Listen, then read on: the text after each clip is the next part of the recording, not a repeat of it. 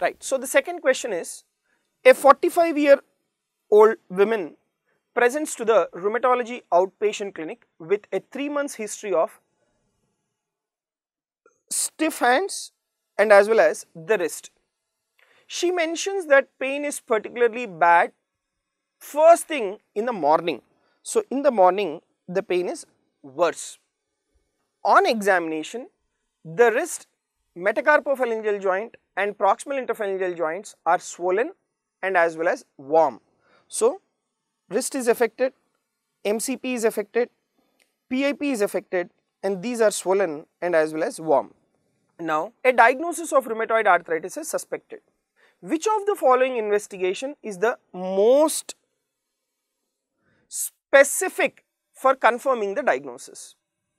The options are X-rays, rheumatoid factor levels, anti-CCP, C-reactive protein, erythrocyte sedimentation rate. Now, in this question, the question asked is which is the most specific for the confirming the diagnosis.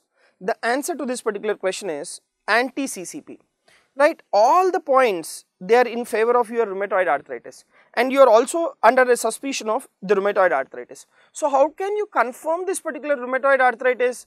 You have to confirm the diagnosis of rheumatoid arthritis by doing the anti-CCP levels that is anti-cyclic citrullinated polypeptide.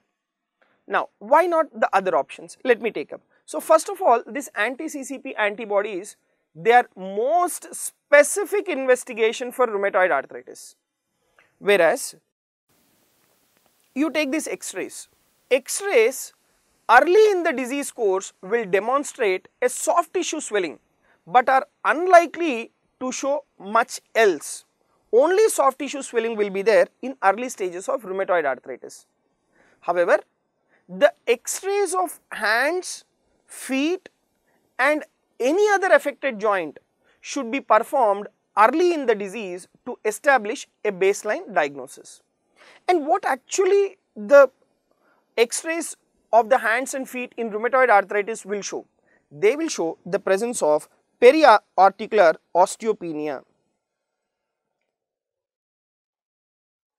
Right. So, that is what is the X-ray picture in patients with the rheumatoid arthritis. But only point is in early stages of the disease it will not show the manifestation in the x-ray, it is in the later stages. In the early stages it will just show only a soft tissue swelling which is non-specific for your rheumatoid arthritis.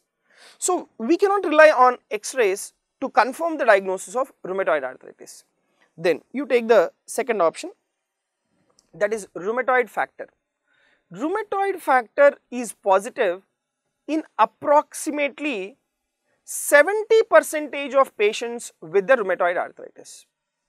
That means in almost like 30 percentage of patients the RA factor is negative, right in 30 percentage of patients the RA factor is negative, okay.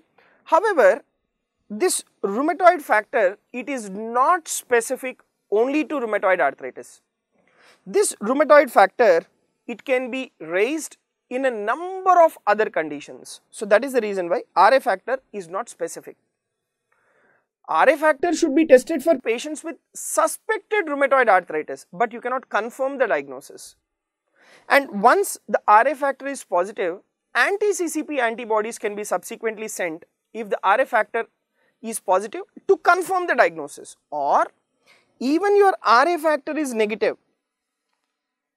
right? Even your RA factor is negative still you have a suspicion of the rheumatoid arthritis then also you can send this anti-CCP antibodies right?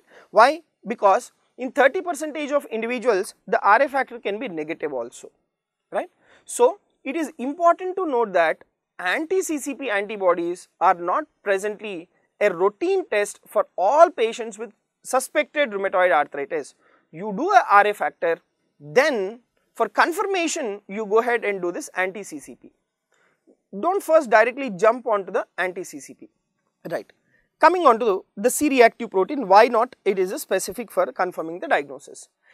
C-reactive protein is an acute phase reactant. And this particular C-reactive protein it is raised in any infectious and the inflammatory disease. Right? It is raised in many infectious and inflammatory disease. So, that is the reason why C-reactive protein we do not take right it is not the most specific test for rheumatoid arthritis. However, it is raised in rheumatoid arthritis and can be used to monitor the disease but not confirming the disease right. You can monitor the disease and you can guide the treatment decisions also. So, this is useful for monitoring the disease and guiding the treatment options.